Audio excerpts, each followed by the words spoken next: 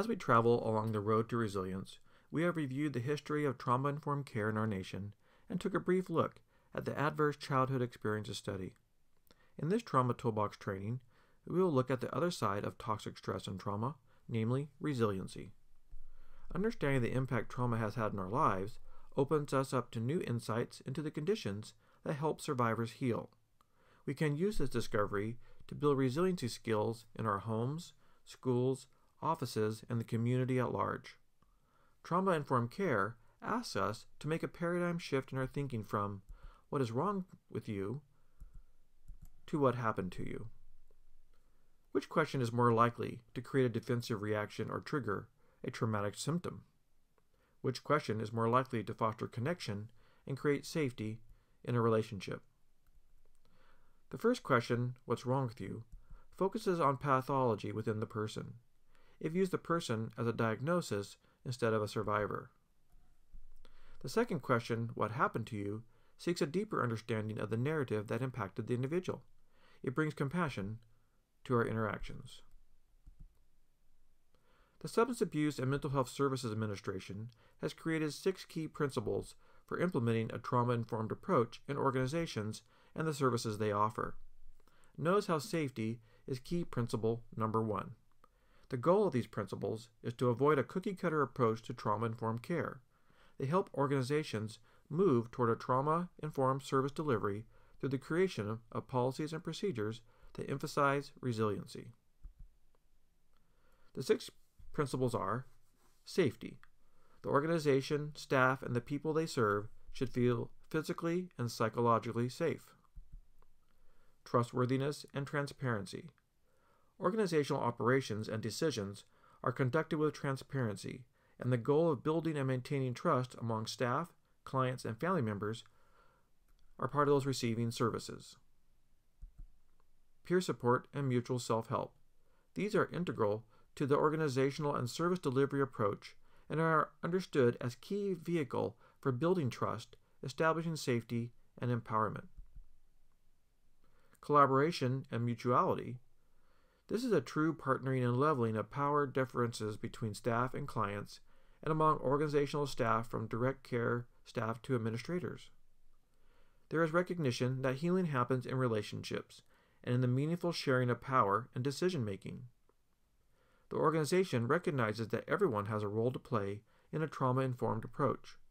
One does not have to be a therapist to be therapeutic. Empowerment, voice, and choice.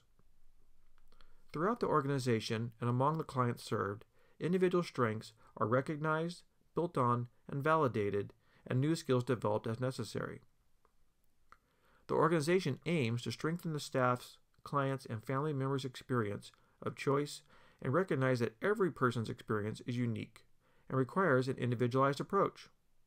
This includes a belief in resiliency and in the ability of individuals, organizations, and communities to heal and promote recovery from trauma.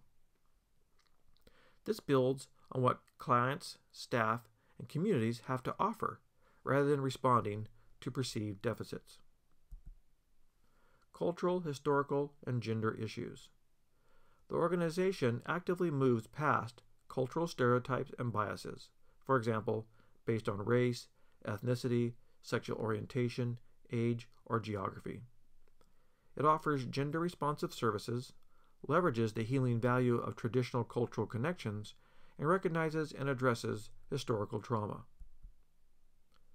These principles are based on a common set of assumptions referred to as the four R's.